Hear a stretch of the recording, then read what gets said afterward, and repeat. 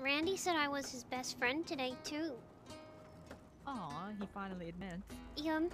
And Ramee said that he loves me. Aw, It made me feel happy in my heart. aw, like a one big happy family. Yeah, and then Benji said next time they shoot you, you can hold on to it. I said, yeah, that's a good idea. You know, emotional blackmail. It works all the time. I actually really like Randy a lot. And Ramee, too. I, quite enjoy Randy too. I mean, they're not bad people. I mean, what they do is kind of like Hello, Sherry. bad.